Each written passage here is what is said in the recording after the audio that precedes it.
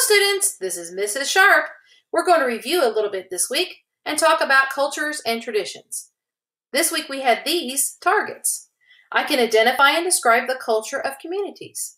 I can compare traditions from the past to traditions from today. I can share my traditions and I can learn about traditions from different cultures. We also talked about these questions. What is culture? What is a tradition? What traditions does your family have? Have any of your family traditions changed over time? And do all communities celebrate the same traditions? What is a culture? A culture is the way we live. It is the clothes we wear, the food we eat, the languages we speak, the ways we celebrate, and the stories we tell. Food, language, music, religion, holidays, customs, clothing, and art. All of those things make up our culture.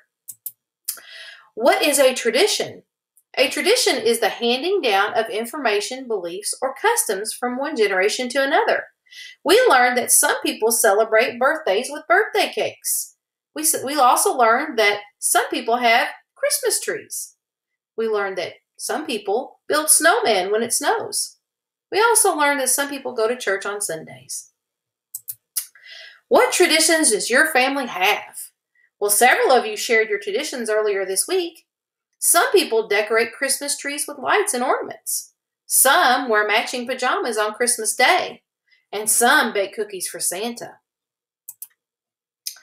Have any of your family traditions changed over time?